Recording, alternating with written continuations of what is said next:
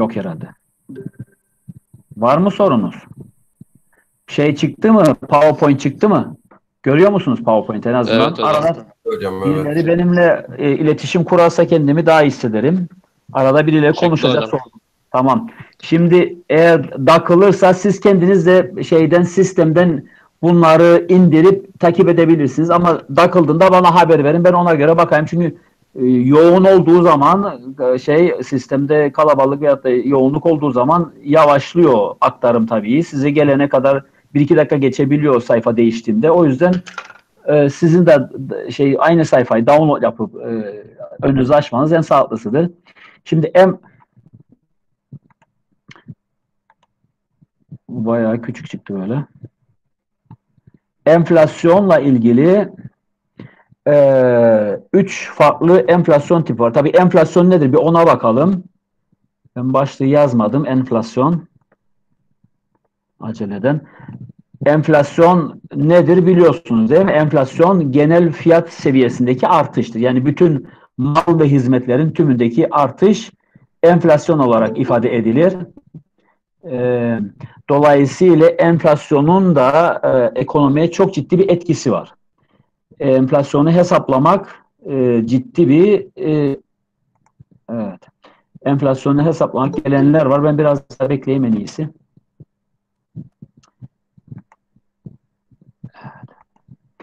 Enflasyon dediğim gibi yani genel fiyat seviyesindeki artıştır ve fiyatlar arttığı zaman da kişilerin refahında düşüş olur. Yani insanlar fakirleşir, alım gücü düşer, e, ekonominin e, büyümesi parası olarak gerçekleşebilir ama tabii ne kadar reel olarak gerçekleştiği onu sorgulamak lazım. Dolayısıyla enflasyonun hesaplanmasında üç yöntem kullanılıyor. Üçü de yeterli ve e, kafi bilgi verebilir bize. Birincisi talep enflasyonudur, maliyet enflasyonu ve aynı şekilde de enflasyon beklentisinden kaynaklanan enflasyon olarak ayrılabilir üçe. Şimdi baktığımız zaman talep enflasyonu fazla talep nedeni. Yani kişiler bir şeye fazla talep ederse biliyorsunuz yani işte e, diyelim ki piyasada fazla tuvalet kağıdı şu anda mesela çok fazla taleptedir. Çünkü insanlar işte bu koronavirüs nedeniyle e, taleplerini belli ürünleri artırmış durumdadır. Dolayısıyla fiyatının pahalanması veyahut da az bulunurluğu talepten dolayıdır. Yani üretimde bir değişme yoktur ama talep fazla olduğu için insanların talebinden dolayı fiyatı artmış olabilir. Ya da görüyorsun işte reklamlarda ya da işte şaka videolarında 100 dolara, 500 dolara işte bir tuvalet kağıdı falan satıyor. Bu da öyle değil. Talep arttığı zaman fiyat da artıyor. Dolayısıyla talep enflasyonu bu şekilde oluşuyor. Kişilerin talebinin artmasından dolayı. Bunu burada başka bir örnekle açıkladım ama onu da söyleyeyim size. Yani X ürünün fiyatı piyasada talebinden dolayı Y ürüne göre daha fazla artıyorsa bu nedeni ya o ürün piyasada yetersiz miktardadır veyahut da dediğim gibi talebi artmıştır. Bu da işte talep enflasyonu art, e, ortaya çıkarır ve sonuçta fiyatların artması da üreticiye bir kar sağlıyor. Kar marjını artırıyor yani öyle söyleyelim. Şimdi çok az mal çok fazla para anlamına gelir biliyorsunuz. Yani nadir bulunan ürünlerin piyasadaki değeri daha çoktur. Yani demirin e, altına göre, altının elmasa göre yani ne kadar az bulunursa bir mal o kadar değerli ve para eder bir üründür ya da emtiadır. Dolayısıyla piyasada ne kadar az bulunursa bir malzeme onun fiyatında daha çok olduğunu e, söyleyebiliriz. Dolayısıyla ta- toplam talepteki bir artış hem fiyat düzeyini hem de gayri safi, reel gayri safi milli hasılayı artırır. Fakat reel gayri safi yurt içi hasıladaki artış fiyat düzeyine göre daha azdır. Bu duruma spiral enflasyon denir. Şimdi maliyet enflasyonu enflasyon şirketlerinin üretim maliyetlerini artırdığı zaman da şeyi görüyorsunuz değil mi şeyi? Ee, PowerPoint e, şeyleri görüyorsunuz değil mi? PowerPoint. Evet hocam. Görünüyor. Şimdi yani maliyet enflasyonda da üretim maliyetleri, yani üretimden kaynaklı. Bir malın girdilerinde herhangi bir oynama olursa, diyelim ki iş gücü maliyetleri, hani e, şeyler var ya bu o, labor unionlar nedir onlar, işçi sendikaları maliyetleri artırıcı bir faktördür. Çünkü eğer iş gücü ücreti artarsa Dolayısıyla üretimin ve dolayısıyla da pazar fiyatının artması beklenir. O yüzden iş gücü ücretlerinin artması çok da sağlıklı değil. Çünkü enflasyon yaradır. Bir şekilde daha fiyatların yükselmesine de olur ve alım gücünü de düşürücüdür. O yüzden dengeli bir şekilde yani konsolide bütçeye denk düşecek şekilde enflasyon ne kadarsa ona denk düşecek bir e, ücret veyahut da gelir sağlanmaya çalışılıyor ki çok da sağlıklı yapılmıyor biliyorsunuz. Yani %50 enflasyon varken %5, %7 enflasyon verir şey e, konsolide bütçeden kişilere hmm, e, yani e, gelir artışı veriliyor. Dolayısıyla bu da çok sağlıklı değil. Ekonomi yine istihdam, tam istihdam ve yine tam istihdama yakın bir düzeyde kabul edilir. Maliyet enflasyonda da. Maliyetlerdeki bir artış kısa dönem toplam arzını, short run aggregate supply dediğimiz kısa dönem e, kısa dönem toplam arzını ve eğrisini sola kaydırır. Bu durumda sola kaydırdığı için de tabii gerileme oluyor biliyorsunuz fiyat düzeyi artar ve reel gayri safi yurt içi hasılada azalır. Bu da stagflasyondur. Yani D3'ten D2'ye azalmış oluyor. Şimdi biraz önce biraz sonra göreceğiz onu. Bu da e, sağlıklı değil. Stagflasyon nedir? Stagflasyon bir ekonomide durgunluk, işsizlik yaşanırken enflasyonun olması. Yani alım gücü yoktur ama fiyatlar artıyor. İşte bu stagflasyondur ve tabii e, sağlıklı değil. Bir anlamda durgunluk demektir tabii stagflasyon. Bir anlamda durgunluk varken fiyatların artması. Yani kimse almıyor ama fiyatlar artıyor. Şu anda da mesela dövizden dolayı fiyatlar artabilir. Çünkü e, döviz kurları artıyor. Artan döviz kurundan dolayı da talep piyasada düşmüş olmasına rağmen bir malın yurt dışından gelen bir malın ithal malların fiyatlarının artması şu andaki stagflasyona güzel bir örnek olabilir aslında. Şimdi başlangıçta burada daha önceki dersimizde size bu grafiği anlatmıştım birazcık. Başlangıçta ekonomi tam istihdam düzeyindeyse deflasyoniz açık ortaya çıkıyor dedik. Şimdi baktığınız zaman burada e, görüyorsunuz yani ortada aggregate expenditure dediğimiz toplam talep eğrisi vardır ve onun ona istinaden yani olması gereken toplam talep eğrisi var. Ona istinaden de ya biraz daha yatay 3 tane eğri var. Yani C artı I, C artı I 1 ve C artı I 2 diye Bunlar da işte o Keynesyen ekonomideki o talebin ya da işte ürünün ürünün olan ürünün ne kadar olduğunu gösteren bir e, grafiktir. Buna baktığımızda aşağıdaki üretim D1 seviyesindeyken D2'ye geçtiğinde ne oluyor? Tabii enflasyonist açık oluyor. Çünkü e, parasal bir e, büyüme gerçekleşiyor. Paranın par, pardon piyasadaki fiyatların artmasından dolayı enflasyonist bir ta, parasal genişleme ve paradan dolayı da enflasyonist bir durum ortaya çıkıyor. Tam tersi durumda da diğer tarafta da deflasyonist bir durum var. Onu açıklamıştım size tabii daha önce de. Bu da para piyasasında ki azalma yani bir şekilde paranın birazcık daha kısıtlanması, azalma şu anda çekildiği gibi piyasada ortaya çıkıyor. Bu da işte deflasyonist ve, e, ve e, para azaltıcı bir etki yapıyor. O yüzden genişletici para politikası veya maliye politikasının uygulanması öngörülüyor böyle bir durumda. Tabii bunları siz birazcık anlamayabilirsiniz, biraz zor gelebilir size.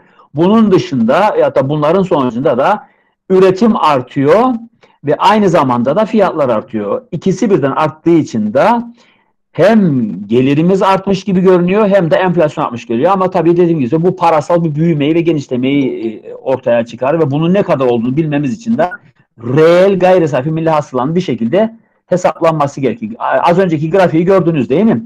Şimdi bir de para enflasyonu var dedik. Şimdi maliyet enflasyonu ve para enflasyonu. Para enflasyonu nedir?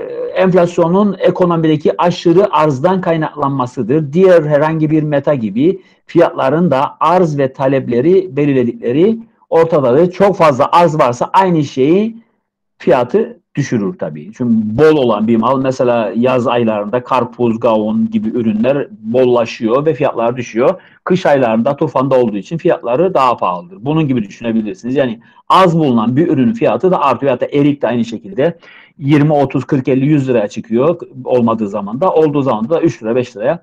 Bu böyledir ve bu da tabii enflasyonist bir ortam yaratmış olur.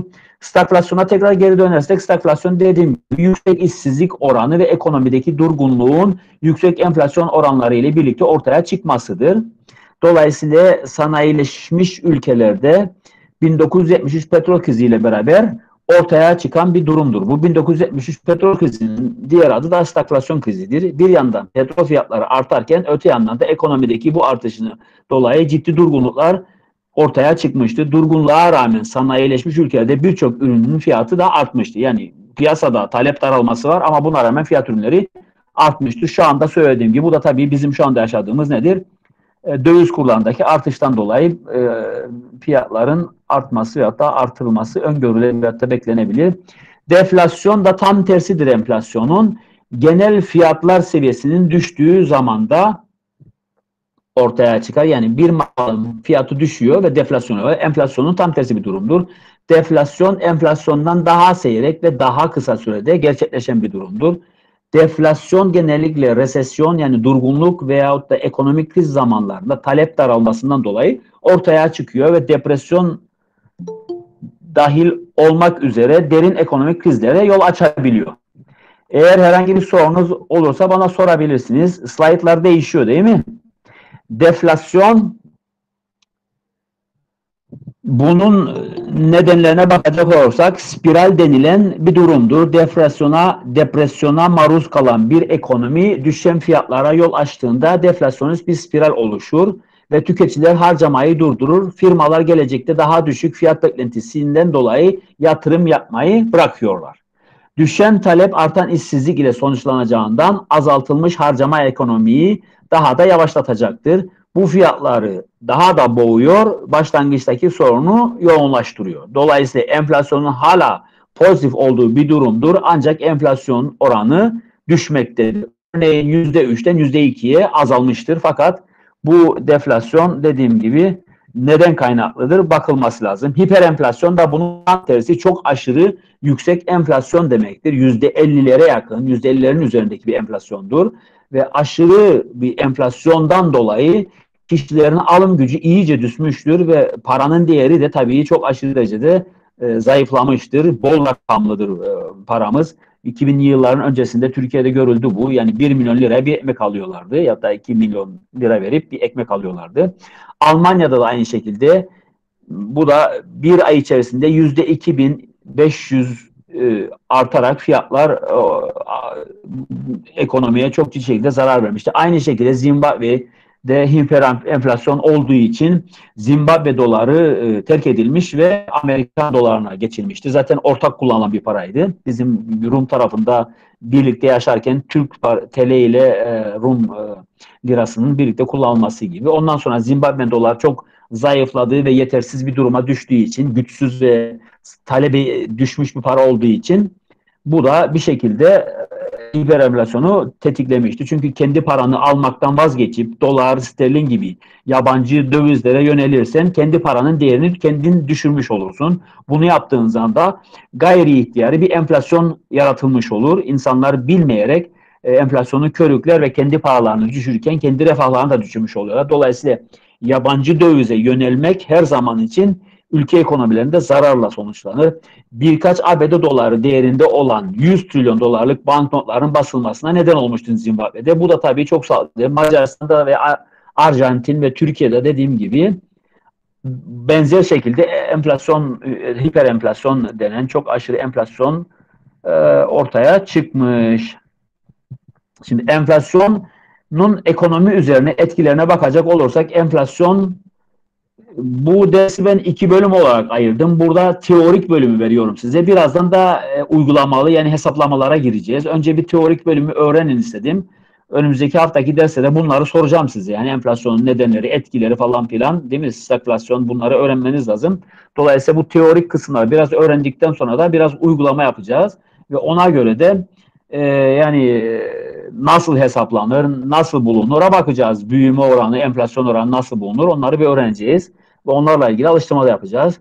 Şimdi enflasyonun ekonomi üzerine etkilerini ben zaten genel olarak söyledim size. Ciddi şekilde zarara uğratıyor ekonomiyi. Çünkü paranın değeri bir şekilde azaltılmış oluyor. Talep düşüyor. insanların alım gücü düşüyor. Tabii bu bir yerde tüketiciden e, nedir o üreticiye kaynak transferidir. Yani bir, bir yerde kapitalist bir yaklaşımdır ve insanlar e, kendi refahlarını azaltıp üreticiye kaynak sağlıyorlar ve üreticiyi zengin ediyor. Yani sermayedarı daha da zengin eden bir durumdur. Sermaye sahibi bu şekilde bir durumda daha da zenginleşmiş oluyor. E, tüketici dediğimiz e, talep eden kişilerin de alım gücü düştüğü için daha da fakirleşiyor. Dolayısıyla ülkede ciddi bir ayrım ayrışmaya gidiyor. Yani bir tarafta orta kesim dediğimiz ve e, artık orta kesimden fakirlik ve zaruret kesimine doğru giden bir e, halk ve zümre var. Diğer tarafta da çok e, küçük bir grup insanın bolluk ve bereket içerisinde yaşaması. Suudi Arabistan'da da benzer bir durum var. Yani krallar, prensler falan sultanların bol olduğu ve çok para saçtıkları, yiyip içtikleri bir zümre var. Geri halkın tümü de çok küçük paralarla geçiniyorlar. Bunun gibi bir durumda da ekonominin sosyal boyutuna baktığımızda ciddi şekilde zararlı ve tabii ülkenin kalkınmasının ne kadar yani gayri safi milli ne kadar yüksek olsa petroldan dolayı ülkenin genel refah düzeyi düşüktür. Halkların alım gücü ve vatandaşın fakirliği sürmektedir. Belli bir zümre o zenginliği yaşıyor olabilir. Dolayısıyla enflasyon sağlıklı değil. Hele ki bu şekilde bir e, yapılaşma oluşmuşsa Türkiye'de de benzer bir durum var. E, belli bir kesim çok fazla paralı, belli bir kesimin altında kalan herkes de çok küçük paralarla geçinmeye çalışıyor. Bunlar sağlıklı bir ekonomik düzenin belirtileri değil. Bunlar doğru e, yapılmış ekonomi politikaların sonucu değil tabii. Belli kesimleri besleyen ve geliştiren, büyüten, zenginleştiren bir politikanın sonucu. Bu sağlıklı değil. Ekonomi bazı sektörler, ekonomide bazı sektörler kazanırken bazıları kaybediyor. Tıpkı kumara benziyor bu. Yani bir tarafta e, birileri kazanıyor, diğer tarafta birileri kaybediyorlar. Buna zero sum game dediğimiz yani e, sonuçta herkesin kaybettiği bir oyun olarak düşüneceksiniz. Çünkü kumar da öyledir. Yani bir şekilde sürekli kazanamazsınız. Bir yerde birileri kazanır, birileri kaybeder ve sürekli aslında kazanan kumarhanenin sahibidir. Dolayısıyla böyle baktığınız zaman da ekonomi de öyledir. Yani İlla ki iki tarafında kaybetmesi ve kazanması değil, herkesin bir şekilde belli bir refahı sürdürebilecek performans ve yapının oluşturması da önemli olan kit kaynaklarının kıt kaynakların pardon ben kitle karıştırdım. Kıt kaynakların yanlış yönde kullanılması yani çünkü ekonomide biliyorsunuz kıt kaynakların en uygun şekilde kullanılması öngörülüyor. Kıt kaynakların yanlış yönde kullanılması ve yanlış ekonomi politikaları nedeniyle bunlar gerçekleşiyor. Ekonomide ciddi sorunlar oluşturuyor. Büyüme hedeflerine parası olarak belki ulaşabilirsiniz ama gerçek değerde yani reel değerde bu söz konusu değildi. Örneğin Türkiye'nin 1980 sonrası ithal ithamesi ticareti de aynı şekilde ihracata dayalı bir politikanın sonucudur. Çünkü Türkiye 1980'lere kadar ithal ikamesi bir politika gütmüştür.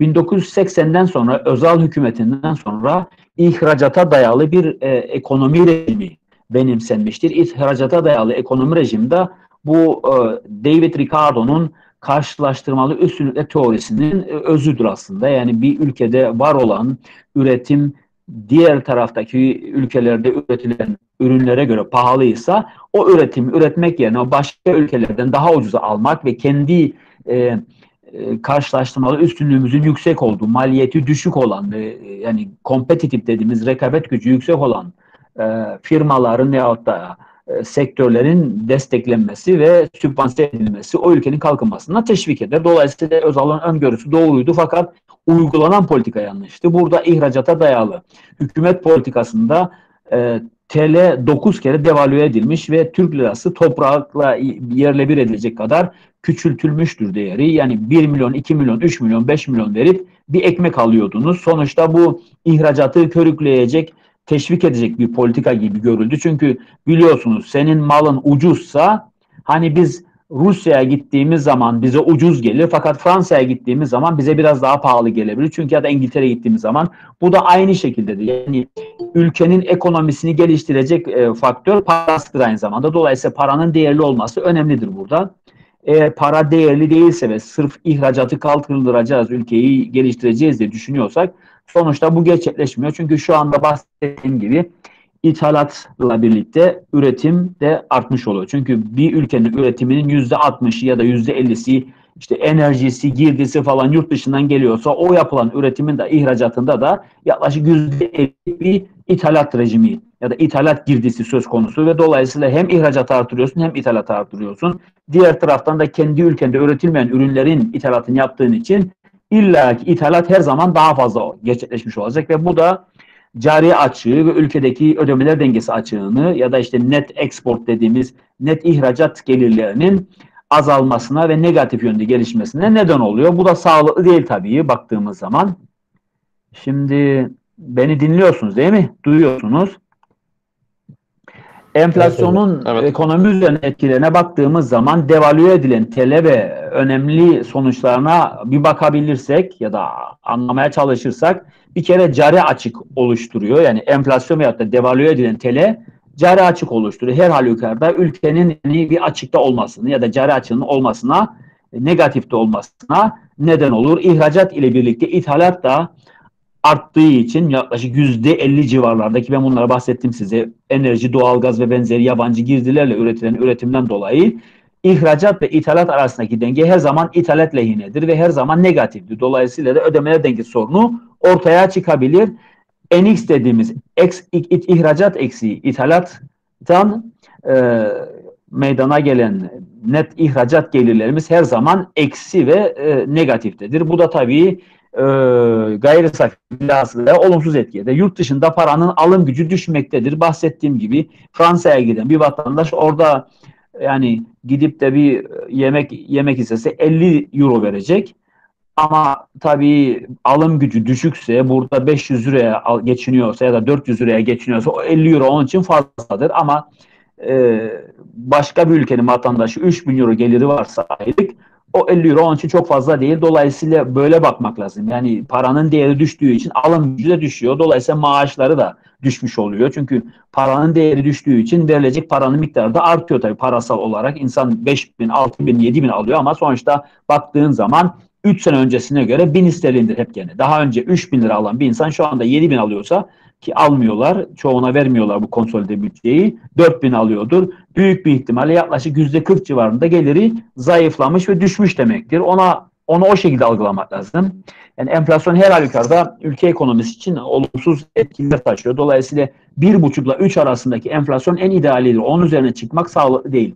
Enflasyonun ekonomi üzerindeki etkilerine baktığımız zaman da enflasyonun gelir dağılımı üzerindeki etkileri enflasyon faiz oranlarının artmasına neden oluyor. Reel faiz oranı pozitif ise parası olan iş adamları parasını bankalara yatırarak bono, tahvil ve benzeri hisse senetleri alarak kazanç sağlayabilirler. Bu da tabii bir başka alternatif. Çünkü paranın değeri düştüğü zaman eğer e, bu paper market dediğimiz para şey nedir o hisse senedi bono piyasalarına yatırım yapmak daha sağlıklı. Çünkü getirisi daha çok olacaktır. Çünkü paranın değeri düşüyor veyahut da işte döviz gelirlerine yönelebiliriz ki dedim bu gene sonuçta enflasyonist bir yaklaşımdır. Yani eğer TL'nin değeri düşüyorsa ben niye TL'de yatırım yapayım? Çünkü faizi zaten bana karşılık gelmiyor. Yani alacağım faiz geliri benim kaybımdan daha az olacağı için bu sade bu zaten Fisher equation'ı birazdan ben size anlatacağım onu da. Ondan dolayı da hesaplandığı zaman negatiftedir ve bu sağlıklı değil. Dar ve orta gelirli olan genelde sabit gelirli kişilerin tasarruf eğilimi bir şekilde azalmış oluyor. Çünkü enflasyon insanların alım gücünü düşürdüğü için ancak da ayın sonunu getirebiliyorlar. Ancak da aldıkları parayla geçinebiliyorlar. Para biriktiremiyorlar. Tasarruf yapamıyorlar. Bir ülkede de tasarruf yapamadığınız zaman ne oluyor? Yatırımlar gerçekleşmiyor. Yatırımlar gerçekleşmediği zaman da ülke ekonomisi kalkınamıyor. Üretim gerçekleşmediği için büyüme olmuyor. Dolayısıyla bu açıdan baktığımızda da enflasyon gene kötüdür. Aynı şekilde enflasyon ve dolayısıyla yüksek faiz oranı yatırımcıları yeni yatırım yapmaları yapmaktan alıkoyar. Çünkü yüksek faizle borçlanmalar demektir. Çünkü enflasyon aynı zamanda e, nominal faiz oranının denk düşeceği bir orandır. Yani enflasyon yüzde yirmi ise faiz oranlarda, nominal faiz oranlarda yüzde yirmi olması lazım en azından ki dengeleyebilsin enflasyondaki karşılığı veyahut da açığı. Ama tabii bizim gibi ülkelerde bu çok da gerçekleşmiyor. Çünkü enflasyon her zaman birazcık daha yukarıdadır ve dolayısıyla yatırılan paradan getirilecek beklenen getiri ya da işte yıl sonunda alacağı faizin geliri e, yani paranın değerini daha da düşmesine neden oluyor. Çünkü sen 10 bin lira yatırıyorsun. %50 enflasyon var. Senin paranın değeri bir sene sonra 5 bin liraya düşecek ama alacağın faiz geliriyle 7 bin lira, şey 12 bin lira almış. %20 vereceğini düşün. %12 bin lira almış oluyorsun ve 12 bin lira düşündüğünde alım gücü eğer %50 ya da enflasyondan dolayı %50 düştüyse senin bir sene önceki 10 bin dolarınla bir sonra sonraki 10 bin doların 10 bin TL'nin arasında pardon ciddi bir e, alım gücü yani purchasing power part dedim satın alma gücü farkı olacak ve bu tabii e, iyi değil insanları fakirleştiriyor insanın elindeki parayı zenginliğini düşürüyor. Enflasyonun büyüme üzerindeki etkilerini devam edersek enflasyon sonucu artan yüksek faiz oranlarında yatırımlar azalıyor dedik ve ekonomideki büyüme yavaşlıyor. İşsizlik ortaya çıkıyor ve insanların yoksullaşması kaçınılmazdır. Özellikle işsizliğin ortaya çıkması tabii önemli çünkü yatırımlar gerçekleşmiyor. Tasarrufların gerçekleşmemesinden dolayı. Çünkü tasarrufla yatırım eşit olsun lazım. Tasarruflar gerçekleşmediği için yatırımlar gerçekleşmiyor. Yatırımlar gerçekleşmediği için de büyüme gerçekleşmiyor. Çünkü büyümenin, gelişmenin olması için yatırımların da artması lazım. Bunlar olmadığı zaman da parasal bir büyüme oluyor. Ya da işte vergi gelirleri dediğim gibi siz daha önce bir ödev vermiştim. Hani vergiler, cezalar, işte ücretlerle ülke ekonomisi kalkındırılmaya ya da işte sermayeyi elde edecek parayla ülke ekonomisi döndürülmeye, halkın işte belli bir ücretlerle yaşamını sürdürebilecek bir parayı sizden alıp tekrar size vererek e, yaşamı sürdürmeye çalışıyorlar. Ama tabii büyümeyi ya da gelişmeyi ya da refahı arttırmıyorlar. İş adamları çok yüksek kar beklentisi olan sınırlı sahalara yatırım yaparlar. Dolayısıyla yatırımın azalmasıyla ekonomik büyümede yavaşlıyor dolayısıyla. Bunların hepsinin sonucunda enflasyon öyle ya da böyle olumsuz bir e, parametre diyor.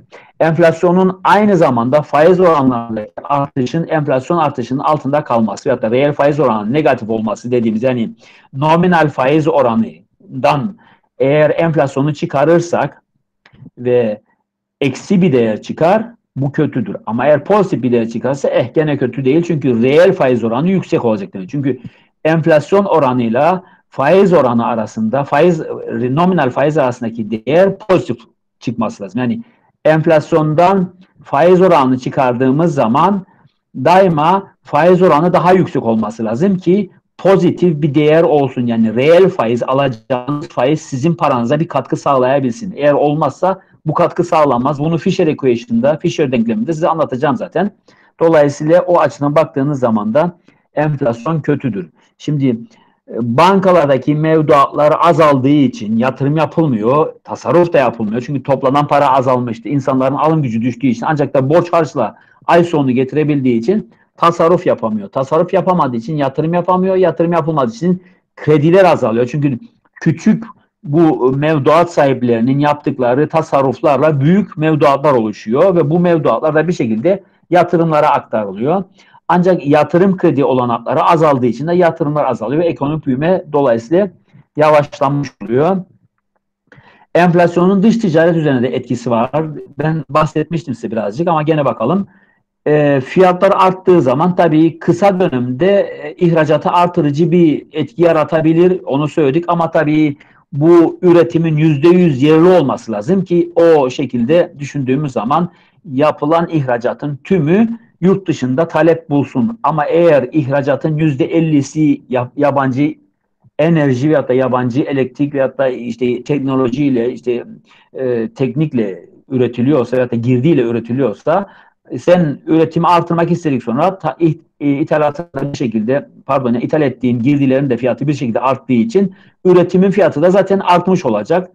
Dolayısıyla ürettiğin malı devalüe ettiğin paradan veya da enflasyondan dolayı daha ucuza satacağını beklerken bu parasal olarak artan bir miktardan dolayı fiyatların gene senin birazcık daha yükselecek ve yurt dışındaki talebinde ona göre birazcık artsa bile çok da efektif olamayacak ülke ekonomisine. Dolayısıyla uzun dönemde böyle bir politika yanlıştır. Dış ticarette olumsuz etkiler ve her zaman cari açık ya da ödemeler dengesi sorunu ortaya çıkarır.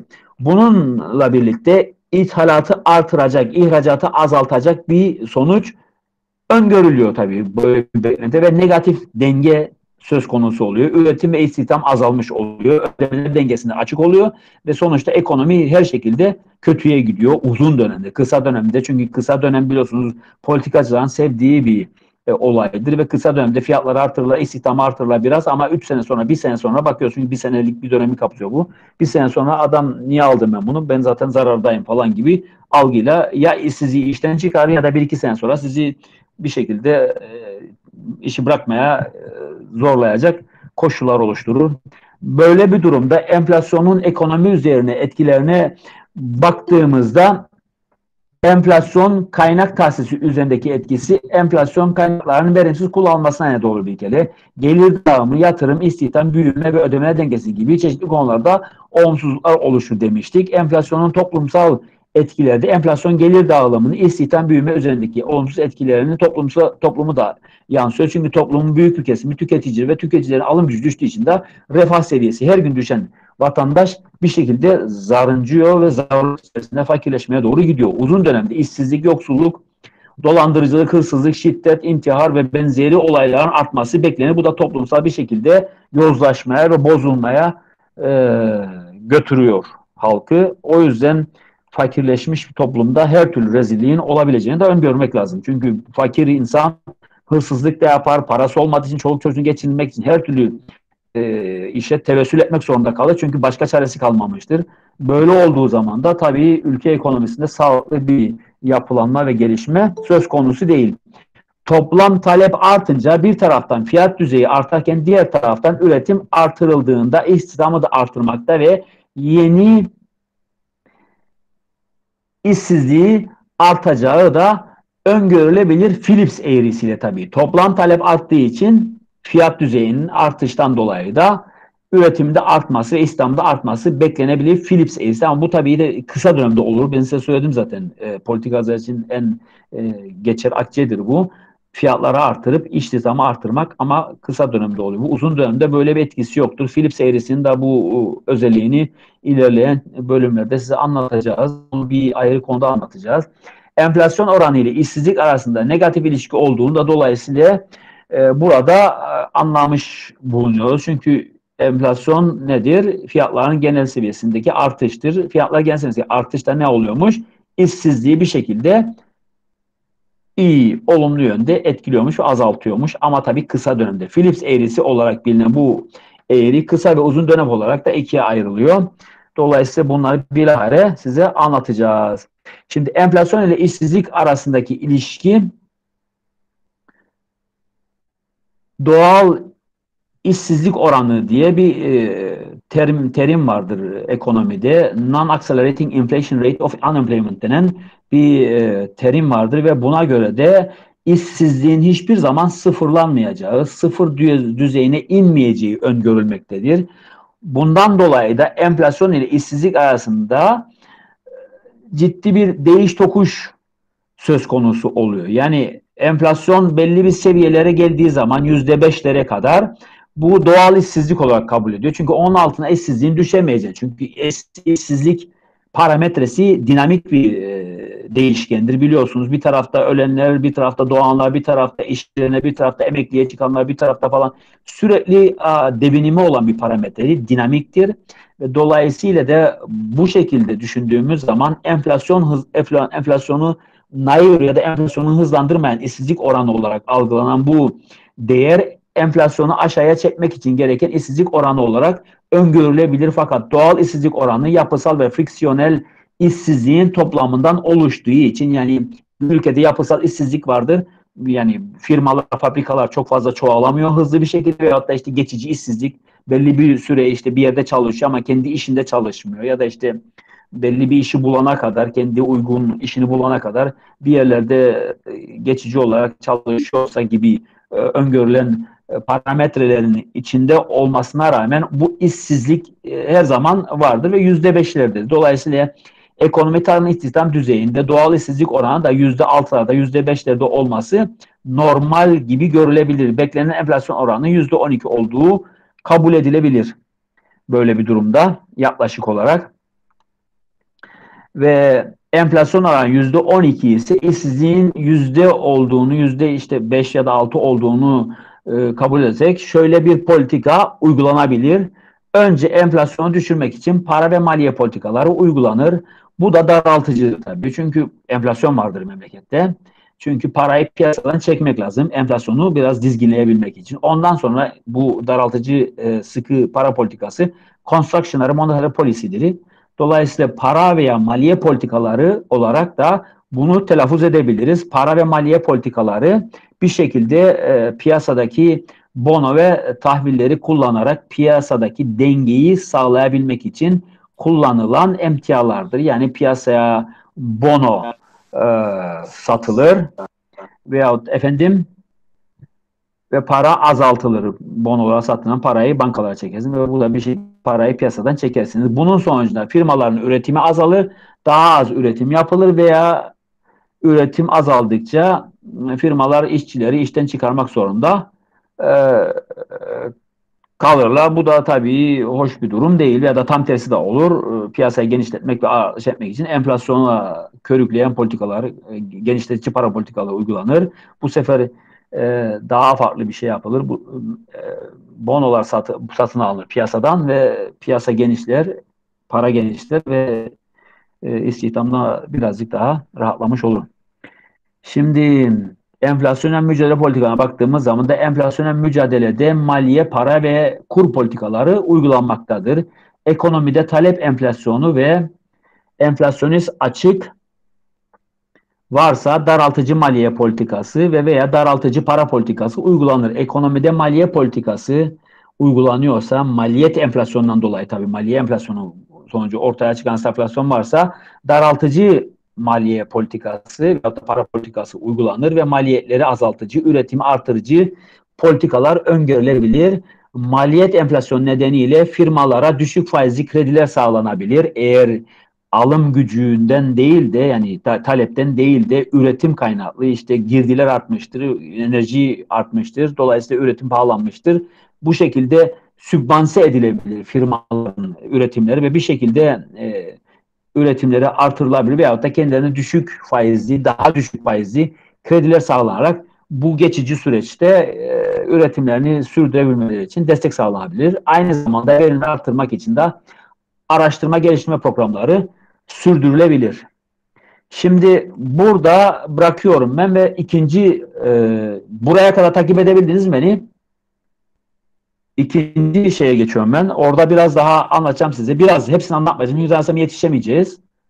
Ondan sonra da bırakacağım dersi. Tamam mı? Şimdi bunu kapatıyorum ben. İkinci PowerPoint'imi açayım en iyisi. Kapamadan. Takip edebiliyor musunuz beni? Evet hocam evet. tamamdır. Tamam. Allah'tan biri konuşuyor da duyuyorum sesinizi. Bir ders nereden bakın. Hocam enflasyonla ilgili benim bir sorum var size. Buyur.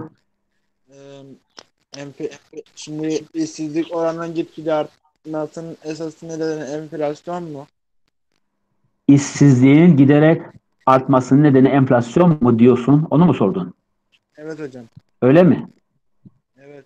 Enflasyon dur tabii ama tabii ülkede dediğim gibi yani başka faktörler de var. Politikal politik açıdan da baktığımız zaman eğer yani enflasyonu körükleyen politikalar kullanılıyorsa, uygulanıyorsa veyahut da ekonomik büyümenin, gelişmenin sağlanması için politikalar yaratılmıyorsa, ülke durgunluğa gitmişse, para yoksa, yani ülkede para yoksa, sermaye yoksa bir şekilde üretim artmıyor. Bu da ne oluyor? İşsizliğe neden oluyor. Yani şu anda şimdi resesyonari bir dönemdeyiz. Talep yok. Hele şimdi bu koronadan dolayı talep azalmasından dolayı e, arz tarafı da etkilenmiştir. Satış yapılmıyor değil mi? Yani yapılan satışlarına bir kısmı azalmıştır. Tedarikçiler Doğru. ulaşamıyor birbirlerine. Sınırlar kapatılmıştır. Ne var? Efendim? Var mı sorun? Hocam bir yani, bir sorun var. Ee, dışa bağımlılığın dışa bağımlılığın nasıl Şey, kesik geldi. Ben anlamadım dışa bağımlılığı yani bir malı evet. dışarıdan almaya nasıl önleyebilir bir ülke? Dışa bağımlılık değil o. Şimdi ben az önce de söyledim yani dışa bağımlılık diye bir şey yoktur. İlla ki ihracat olacak, ithalat da olacak. Yani sen bir ithal etmek istiyorsan bir şeyi ihracat da ithalat İthalatta olacak. Yani bir ülkede mal alıyorsan mal da satacaksın. Mal satıyorsan da mal alacaksın. Yani bu böyledir. Bunun kaçışı yok. Bir ülkenin eğer üreteceği mal şimdi mesela Türkiye'de kahve üretimi var mı bilmiyorum ya da banana üretimi var mı bilmiyorum. Yani bunlar yoktur herhalde değil mi? Ya da işte banana var herhalde ama kahve yoktur. Ee, doğalgaz e, yurt dışından geliyor değil mi? Enerji, e, petrol büyük bir kısmı Doğru.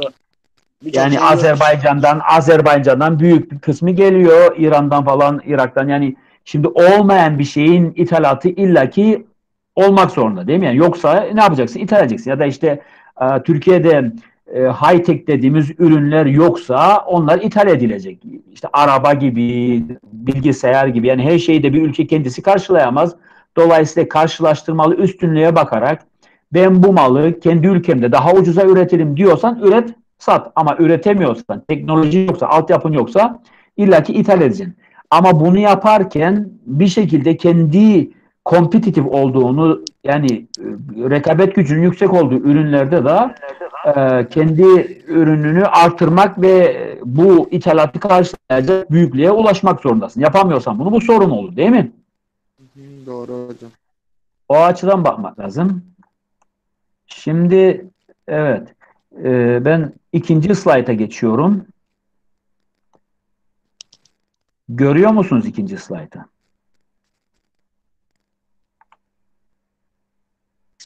Evet hocam tamamdır. Enflasyon ve büyüme görüyorsunuz değil mi? Şimdi bunu açtım ben. Tamamdır. Görüyor musunuz? Evet, ekonomik büyüme nedir? Şimdi enflasyondan büyümeye geçtik. Tamam mı? Ben de Yani- görünmez hocam. Hocam şu an Görünmez. O zaman- görünmez. Tamam ben bir çıkayım. Tamam ben bir çıkıyorum şeyden e, PowerPoint'ten tekrar gireyim. O zaman göreceksiniz.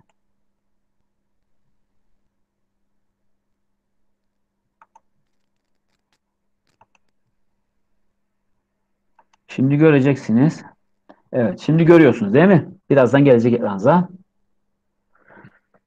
Ekonomik büyüme geldi mi? Gelmiş olması Evet. lazım. Evet şimdi ekonomik büyüme ekonomik büyüme bir ülkede üretilmiş olan malların ve hizmetlerin kapasitesinde ortaya çıkan artıştır. Ekonomik büyüme de ay- aynı zamanda gayri safi milli hasıladaki büyümedir, genişlemedir. Dolayısıyla ekonomik büyümenin de hesaplanması lazım. Şimdi birazdan hem enflasyon nasıl hesaplanır, büyüme nasıl hesaplanır onları öğreneceğiz. Ama tabii büyüme nedir? Nedir? Yani ekonomik büyüme aslında büyüme oranıyla ölçülür ve gayri safi milli hasılayı kullanarak yani bir yıl önceki gayri safi milli hasılayı bir yıl sonraki gayri safi milli hasılayı hesapladığımız zaman ekonomik büyümeyi bulmuş oluyoruz. Veyahut da e, başka yöntemler de var. Onları birazdan size anlatacağım.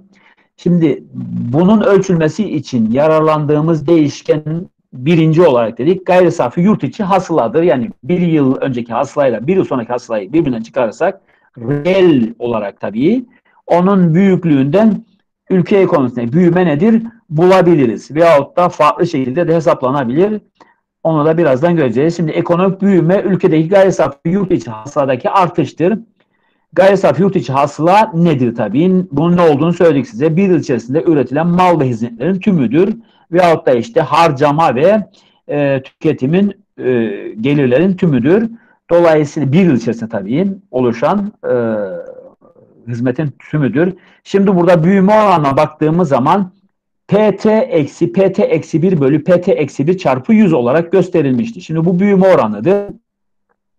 Büyüme oranı nedir? Yani gayri safi milli hasıla bir şu anki gayri safi milli hasılayı bir yıl önceki gayri safi milli hasıladan çıkarıp bir yıl önceki gayri safi milli hasılaya bölersek ve yüzle çarparsak bunu büyüme oranı olarak e, ifade edebiliriz. Şimdiki değerle geçmiş yılı böl, bölüp geçmiş yıl değerine bölüp e, çarparsak yüzle e, büyüme oranı bulmuş oluruz. Aynı şekilde e, büyüme oranı yıllık olarak da PT bölü PT eksi 1 1 üzeri 1 bölü n olarak da ifade edilir. Eksi 1'den de e, yıllık büyüme oranı hesaplayabiliriz. Şimdi bunlara bir bakalım. Burada böyle bir değerler vermiş bize. 2009'dan 2018'e değer olarak da 205, 210, 219, 233, 249 gidiyor 310'a kadar. Dolayısıyla soru olarak size iki tane soru soracağım diyelim. 2009 ve 2018 arası yıllık ve dönem büyüme oranlarını hesaplayınız. 2011-2012 arası büyüme oranı burada yıllık. İkinci soru yıllıktır. Birinci soru da dönemliktir. Yani 2009 ile 2018 arası dönemlik enflasyon oranını hesaplamanız isteniyor.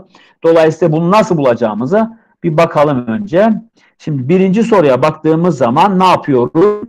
Önce 310 yani birinci en sonuncu burada bak geri gidelim görüyorsunuz değil mi? 2018'de 310'du, 2009'da da 205'ti görüyorsunuz değil mi?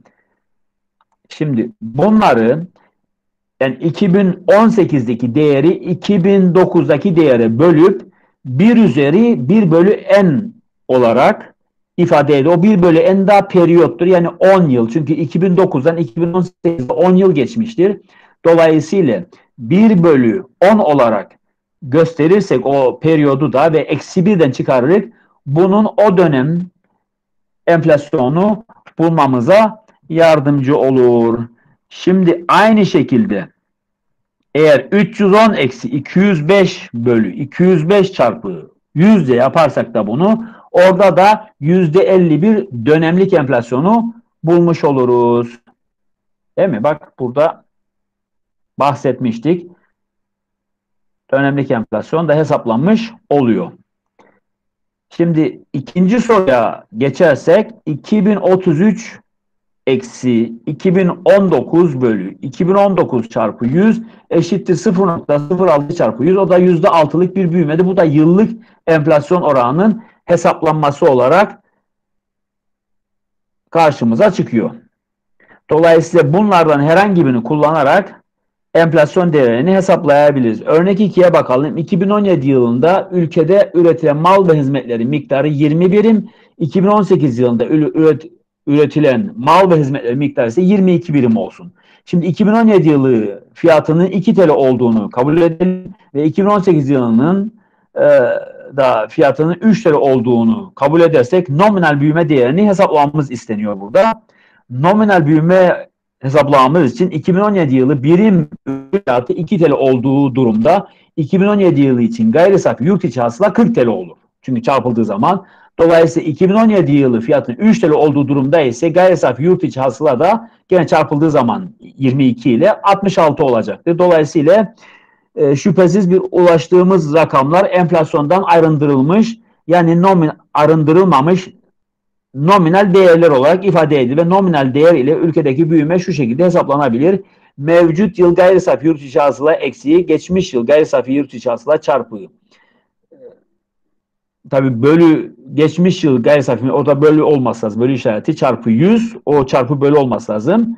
Olarak bulunduğunda burada 66 eksi 40 bölü 40 çarpı 100 de o da 0.55 çarpı 100 o da %55'lik bir enflasyon oranına bizi ulaştırıyor. Bu da %55 büyüme ki çok yüksek bir rakam olarak karşımıza çıkıyor. Şimdi bunu reel değer olarak hesaplamak istersek ne yapacağız? Bir bakalım.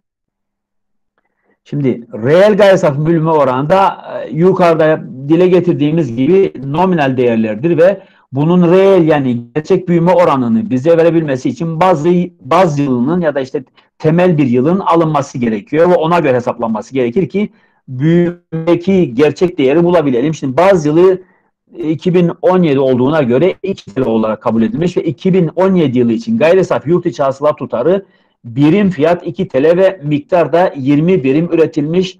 Dolayısıyla 2 çarpı 20 da 40 Türk Lirası olarak ifade edilmişti. Şimdi 2018 yılı gayri safi yurt içi hasılat tutarı birim fiyatı 2 TL ve miktarı da 15 birim üretilmiş olduğuna göre 22 çarpı 2 o da 44 Türk Lirası olarak karşımıza çıkıyor. Tabi bunlar çok cüzi ve küçük e, e, örneklerdir. Bu rakamlarla yukarıdaki formülü kullanarak yeniden yapacağımız hesaplamada 44 eksi 40 bölü 40 çarpı 100 o da bize 0,1 çarpı 100 %10'luk bir enflasyon oranına ulaşmamızı sağlıyor ki bu daha görüyorsunuz %50'lik büyümeye göre %10'luk reel bir büyümeden söz ediyor ki bu da yüksek aslında ama bu bir örnektir. Anlayabilmeniz için basit verilmiştir. Dolayısıyla büyüme oranı reel fiyatlarla %10 nominal fiyatlarla %50 gerçekleşmiştir ki ciddi bir fark var yani büyümede ve ülke ekonomisinin gelişmesinde. O yüzden nominal değerlerle yapılan hesaplamalar hiçbir zaman sağlıklı olmuyor. Hocam Şimdi bir şey sorabilir miyim? Efendim. Bir önceki slide'da 15 birim miktarlar 15'ten çarpması gerekmez. Evet. 7. slide. Evet. 15 bin. Zannedersem. Nasıl? Duyamadım. Bu slide değil hocam. Diğer Hangisinde? Burada mı? Bunda mı? 7 idi. Aynen bu hocam. 2018 yılı gayri safi yurt içi hasıla tutarı birim miktarı fiyatı Evet, 15. 2 TL ve miktar 15 bin. Tam orada 22 olması lazım. Onu ben yanlış yazdım. 22. Daha önce 15'ti. Ben onu değişmedim. O 22 olmasın. Onu düzeltebiliriz. O sorun da o 15'ti. Onu düzeltelim hemen. 22. Aceleden e, gözümüzden kaçmış olabilir. Tamam mı? Şimdi oldu mu? Tamam. Okey. Anlaştık. Evet. Gayri safi yurt içi hasıla, gayri safi milli hasıla gerçekleşen artış oranı yüzde olarak Türkiye'ye ait işte 2000-2001 yıllarına ilişkin gayri safi yurt içi hasıla rakamları işte 50.296 ve 52.739 olarak verilmiş. Dolayısıyla bunları kullanarak büyümeyi hesaplayalım. Ekonomik büyüme 2001 yılı için reel gayri safi yurt içi hasıla 2001 eksi reel gayri safi yurt içi hasıla 2000 bölü reel gayri safi yurt içi hasıla 2000 gene çarpı 100 olarak ifade edilir. Bunu da çarptığımız zaman 52.739 eksi 50.296 bölü 50.296 eşittir 0.0486. Onu da 100 ile çarptığımız zaman da %4.8'lik bir büyüme gerçekleştiği ortaya çıkıyor. Şimdi bir sonraki slaytımızda enflasyona geliyoruz. Enflasyonla ilgili de birkaç örnek vereyim size. Ben burada çünkü bayağı büyük bu şeyde zannedersem çok uzun sürecek yetişemeyeceğiz. Bir, bir haftaki bir sonraki haftada onlara devam edeceğiz. Şimdi enflasyon fiyatlar genel düzeyindeki artış olarak tanımlanır. Dolayısıyla enflasyonun oranı da bir önceki dönem fiyatı ile değişim arasındaki oran olarak hesaplanır. Burada da gene büyüme oranını kullandığımız e, parametreleri kullanacağız. Şimdi nominal milli gelir ile reel milli gelir rakamları arasındaki farktan yola yol açan fiyat artışları yine enflasyonun üç yöntemle hesaplamamıza yardımcı olur. İlk yöntemde nominal ve reel milli gelir rakamları e, değerleri kullanılarak hesaplanmasıdır. Enflasyon oranı nominal milli gelirdeki yıllık yıllık artış oranı eksi reel milli gelirdeki yıllık artış oranı ki bu aslında Fisher e, denklemidir. Yani enflasyon oranı nominal dediğimiz milli gelirdeki değeri ya da artışı reel milli gelirdeki artıştan çıkardığımız zaman bize enflasyon oranı e, bulmamıza yardımcı olur. Fisher'de de böyle bir equation var. 2018 yılında 2017 yılına göre nominal milli gelir gayri safi yurt içi hasıla %14.25 olsun. Reel gayri safi milli hasıla ise 7.75 olsun. Bu durumda enflasyon oranı ne olur? 14.25 eksi 7.75 eşittir 6.5. Tabii bu değerler verilmişse bize. Eğer bu değerler verilmemişse bize enflasyon oranı nasıl hesaplayacağız? O zaman ikinci yönteme bakalım. Tüketici fiyat endeksiyle. Tüketici fiyat endeksinin ne olduğunu daha önce anlatmıştım size. Dolayısıyla biraz bilginiz var zannedersem. Tüketici fiyat endeksi fiyatlardaki ortalama değişiklikleri ölçmeye ve paranın satın alma gücündeki düşüşe ve değişimleri göstermeye yarayan bir endekstir ve genellikle bunu devlet planlama örgütü veya da devlet istatistikleri kurum tarafından e, yapılan bir basket vardı. Bu baskete göre de işte standart bir ürün e, yelpazesi e, var. İşte ekmek, domates, süt, et falan şu bu bilmem ne ayakkabı belli standart yani hiç ayrıştırmadan. Direkt mesela ekmek diyorsa en ucuz ekmeğin fiyatı. Domates diyorsa yani işte şeri domates ya da işte organik domates falan hiç ayrıştırmadan. Ya da işte e, tavuk diyorsa bir bütün tavuğun fiyatı. İşte talengs ya da ayrıştırılmış e, göğüs falan diye direkt neyse o. Yani dolayısıyla fiyat e, ayrıştırmasına gitmeden su diyorsa en ucuz en olabilecek sulardan böyle standart bir yelpaze ile tüketici fiyat endeksi hesaplanıyor ve bir kişinin ya da işte dört kişilik bir ailenin aylık harcamaları ya da işte haftalık ne kadar olacak ona bakılıyor ve ona göre de hesaplanıyor. Bu sepeti bulmak için de tabii kişiler sürekli olarak piyasadaki ürünlerin artış ve azalışlarını dikkate alarak hesaplama yapıyorlar. Tüketici fiyat endeksini bulmak için de gene her ürünün fiyat endeksi ayrı ayrı hesaplanıyor ve bulunuyor. Bu yüzden hem tüketici fiyat endeksi hem de üretici fiyat endeksleri hesaplanır ve ona göre de pi piyasadaki ekonominin ve enflasyonun ne olduğu e, daha sağlıklı hesaplanabilir. Bu yöntem daha doğrudur. Bunu kullanarak enflasyonun bulunması daha sağlıklıdır. Buraya baktığımız zaman nominal milli gelir, reel milli gelir rakamlar arasındaki farka yol açan fiyat artışları yani enflasyon e, üç yöntemle bulunur dedik. Bunu anlattım ben zaten. Birinci yöntemi, ikinci yöntem. Şimdi bunu anlattım size. Burada evet buraya TÜFE dediğimiz tüketici vergi endeksinde tüketicinin yaşam maliyetini ölçen ve satın alma davranışlarını belirleyen bir durumdur. Dolayısıyla üretici fiyat endeksi de bunun tam tersi üretici maliyetlerini ölçen ve üreticilerin maliyetlerindeki gelişmeleri ve buna karşı gelen malların piyasada nasıl arz edeceğini hesaplayan ve değerlendiren bir yöntemdir. İkisi de önemlidir. Bir taraftan üreticilerin fiyat endeksi belirlenir, diğer taraftan da tüketicilerin fiyat endeksi belirlenir ki bu ülke ekonomisinin gidişatıyla ilgili de bilgilendirme yapıyor. Şimdi bu endekslerin ekonomide bulunan bütün malların fiyat değişimlerinin içermesi olanaklı değildir. Daha önce söyledim size. Bundan dolayı da belli bir e, yelpazeye giren ürünler alınarak hesaplanır ve buna göre değerlendirme yapılır. Bu endeks içerisinde ortalama bir ailenin bütçesinin harcamaları temsil ettiği düşünülen mal ve hizmetler bir sepet içerisinde yerleştirilir ve ona göre de hesaplama yapılır. O sepette işte dediğim gibi belli standart ürünleri içerisine alıyor. E, tüketici fiyat endeksi 2018 yılı e, gıdalarının barınma, ulaşım, eğlence falan diye belli bir maddelerden oluşur ve bu çeşitlerden faydalanarak tüketici fiyat endeksi bulunur. Üretici fiyat endeksi de aynı şekilde ülke ekonomisinde üretimi yapılan ve yurt içinde satışa konulan ürünlerin temsil ettiği mal ve hizmetlerden oluşmaktadır. Bu sepet 2018 yılında esas olarak madencilik, taş ocaklı, imalat sanayi, elektrik, gaz üretim, dağıtımı, su teminatı ana gruplarda olan ve yurt içinde üretilen veya birçok malın üretiminde girdi olarak kullanılan 600'e yakın ürünü içermektedir. Ama tabii bunlar dediğim gibi size ayrıştırılmış e, yani çeşitlendirilmiş ürün yelpazesi ile hesaplanmıyorlar. Şimdi tüketici fiyat endeksi her sektör için farklı şekilde hesaplanır ve gıda sektörü içinde belli bir ürün yelpazesi vardır. Ona göre yapılıyor.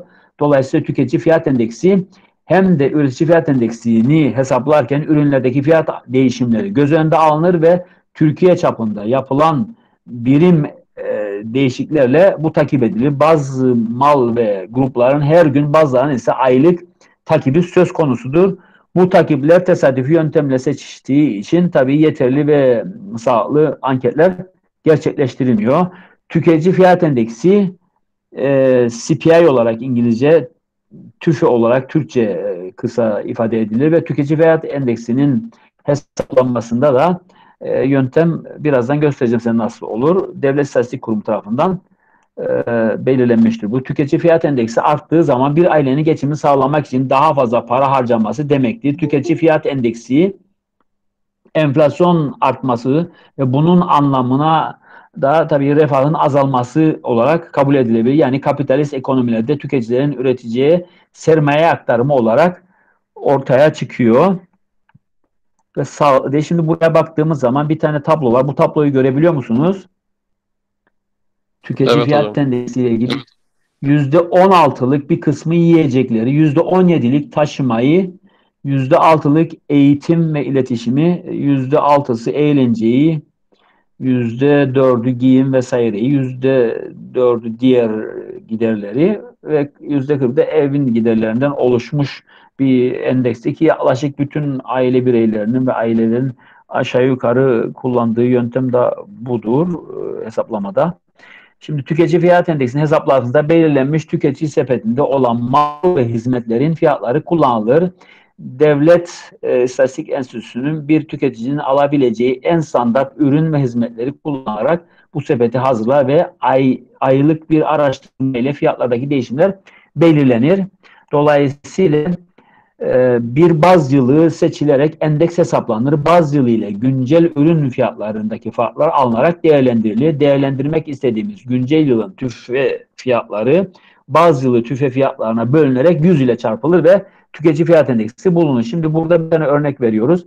Tüketici fiyat endeksi nasıl olur? Tüketici fiyat endeksi. Tüfe T bölü tüfe T eksi 1 çarpı 100 yani tüketici fiyat endeksi şu andaki tüketici fiyat endeksi değeriyle bir yıl önceki ya da bir ay önceki çünkü aylık da hesaplanıyor bu. bir ay önceki tüketici fiyat endeksinin bölünmesi çarpı yüzde tüketici fiyat endeksi bulunabilir. Aynı şekilde üretici fiyat endeksi de üretici fiyat endeksi T ÜF T bölü ÜF T eksi 1 çarpı 100 yani üretici fiyat endeksi şu andaki değeri bölü üretici fiyat endeksinin bir yıl önceki ya da bir ay önceki değerinin yüzde çarpılması ile elde edilir. Dolayısıyla bunları yaptığımız zaman ülke ekonomisindeki e, enflasyonun ve değerlerin ne olduğu hesaplanabilir. Şimdi burada bir tane basit örnek verdik. E, 4 hot dog dedik ve hamburger. Bu bizim kitaplardan almıştı. Dolayısıyla yani benim kendi İngilizce kitaplarımdan 2011, 2012 ve 2013 için yıllar ve yıllar için e, değerler verilmişti burada. E, hot dog ve hamburger fiyatları ve buna göre de 4 hot dog ve 2 hamburger için hesaplanacak tabii bunlar. Yani 4 tane hot dog alacağız, 2 tane hamburger her yıl için e, ve buna göre hesaplayacağız. Burada baktığımız zaman gene gayri safi milli yaptığımız gibi eğer 1 ile çarparsak 1 dolarla çarparsak 4'ü ve diğerinde 2 e, dolarla çarparsak e, elimize geçen miktar hamburger 4 olması lazım. Ben onu 4 hamburger tamam hot dog. Evet. Birisi 8 çıkıyor. 2011 yılı için 1 çarpı 4 artı 2 çarpı 2 8. E, 2012 yılı için 2 çarpı 4 artı 3 çarpı 2 14 oluyor. 2013 yılında 3 çarpı 4 artı 2 4 çarpı 2 20. Dolayısıyla buradaki e, tüketici fiyat endeksini e, hesaplamış oluyoruz. Ve biri diğer yıla böldüğümüz zaman bulmuş oluyoruz. Birinci yıl için 8 bölü 8 çarpı 100 100 çıkıyor. 14 çarpı 14 bölü 8 çarpı 100 de 175 çıkıyor. 2013 yılı için de 20 bölü 14 çarpı 100 de gene 250 olarak karşımıza çıkıyor. Bu da tabii tüketici fiyat endeksinin yıllık olarak hesaplanmasını gösteriyor bize. Şimdi gene burada enflasyon olarak baktığımızda hesaplamak için de az önce tüfeğiydi. Şimdi enflasyonu da 175 eksi 100 çarpı bölü 100 çarpı 100 75. 2013 yılında 200 250 eksi 175 bölü 175 çarpı 100 burada da gene enflasyon oranı hesaplanmış oluyor yüzde 43 olarak. Şimdi tüfe hesaplama yöntemleri de gene aynı şekilde yapılıyor. Baktığımız zaman tüketici fiyat endeksi bir örnek olarak verdiğimizde e, 1200 2002 yılı için olsun ve tüfe gene sepet 1236 olsun. 1236'yı 1200'e bölüp çarpla 100 ile çarptığımızda 103 olarak çıkıyor. Bu da %3'lük bir tüketici yani 103 tüketici fiyat endeksi ve %3'lük de bir enflasyon olarak karşımıza çıkıyor. Dolayısıyla buradaki %3 ya da 103 100 artısı her zaman enflasyon değerini gösterir. O yüzden direkt tüketici fiyat endeksinde bulduğumuz zaman da enflasyon değerini bulmuş oluruz. Eğer yaparsanız göreceksiniz aynı değer çıkacak. Şimdi Üçüncü yöntemde dediğim gibi deflatör aracılığı ile enflasyon ölçme yöntemi. Deflatör aracıyla e, enflasyon ölçme. Deflatör biliyorsunuz indirgeci, indirgeçmiş. Ben baktım. Deflatör düzelticidir aslında. Yani deflatör e, gayri safi milli hasılada gördük onu. Düzelticidir. Cari fiyatlarla hesaplanmış bir iktisadi büyüklüğün değerinin sabit fiyatlarla hesaplanmış bir iktisadi değere çevrilmesine yardımcı olur ki bu da tabii daha sağlıklıdır e, konumuz açısından mi, milli gelir deflatörü ya da gayri safi yurt içi hasıla deflatörü olarak adlandırılan bir fiyat endeksidir. Cari fiyatlarla hesaplanmış. Ben biraz hızlı okuyorum çünkü bayağı konu var ve e, size aktarmak için eline geldiği kadar hızlı gitmeye çalışıyorum. Çünkü yetiştiremiyoruz. Ama siz daha sonra okursunuz. Ben bunu birazcık bir, birkaç yerde hata gördüm. Onları düzeltip de yükleyeceğim sisteme. Çünkü birkaç yerde birkaç hatalar var. Yani şey kelime hataları, yani, numerikal hatalar cari fiyatlarla hesaplanmış nominal milli gelir ile sabit fiyatla hesaplanmış reel milli gelire dönüştürürüz şimdi milli gelir ya da gayri safi milli deflatörü ile enflasyon oranı hesaplanarak TÜFE ve ÜFE yöntemine göre çok daha keskindir diyor burada. Bakalım bakalım nasıl alıyor. Şimdi milli gelir deflatörü ekonomide üretilen tüm mal ve hizmetleri kapsayan bir fiyat endeksidir. Oysa TÜFE ve ÜFE endeksleri tüm mal ve hizmetleri değil, temsili olarak bir yani hani şeyde de seçimlerde de direkt seçim yapıldığı zaman net sonuç elde edilir ama e, temsili olarak bin kişiyi alıp da bir e, anket yaptığınız zaman da yaklaşık bir derece TÜFE'de öyledir işte belli bir kısım mal ve hizmet alınarak yapıldığı için resmi olarak e, çok da net bir değer vermeyebilir ama sonuçta gene de e, profili çıkarabilirsiniz. Milli gelir deflatörü nominal gelirin reel milli gelire oranıdır. Dolayısıyla şöyle ifade ediliyor. Milli gelir nominal milli gelir bölü reel milli gelir çarpı 100. Yukarıdaki formül karşılığı hesaplanan rakam nominal ile reel milli gelir arasındaki farkı hesaplamamıza yarar ve bu fark da cari yıllık enflasyon oranı olarak ifade edilir. Hocam siz bunu Türkçe- derste yaptıydınız bize. Evet. Milli geliri. Nominal Evet. bölü reel. Çarpı yüz. Şimdi tüfe ölçme yöntem, ölçme sorunları var. Bunları ikame, yeni ürün falan bunları size vermeyin. Burada bırakayım diyorum ben. Bu ölç, tüfe ölçme sorunlarını bir sonraki derse işsizlikle beraber vereyim size. Çünkü zannedersem bayağı var da bir 20-30 sayfa daha var. Bunu burada bırakayım. Bu dersi burada bitirelim. Ben size gene birkaç tane örnek vereceğim. Siz bu arada çalışırsınız. Ve haftaya isterseniz gene böyle dediğim gibi bir tane test yaparız. Ona göre siz de kendinizi, durumunuzu görmüş olsunuz. Tamam? Böyle Hocam bırakalım yarın bu dersi. ders var mı? 5'ten 6'ya olan. Ders yoktur. Ya yani perşembe günü sadece ofis saati vardır. Onda da gelen olursa bir şey sorarsa onu konuşuruz. Onun dışında ders yapmıyoruz. Çünkü bir saat hocam. ge- ge- ge- hatta bir buçuk saat yeterlidir. Yani daha fazla zaten siz de alamıyorsunuz. Çünkü bayağı şey konu veriyorum size. Yeterlidir bence bunlar. Hocam hafta yani buradan devam edeceksiniz. Haftaya bir kısmını buradan bitiririm dersi. Ondan sonra da sizin testinizi yaparız. Olmaz mı? Olur hocam. Tamam hocam. Öyle okey. yapalım. Çünkü başka türlü yapamayız.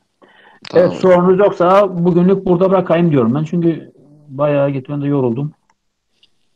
İyi günler hocam. İyi günler görüşmek üzere. Eğer sorunuz varsa gene bana WhatsApp'tan yazabilirsiniz. Tamam? Tamamdır hocam. Hadi. İyi günler. Tamam.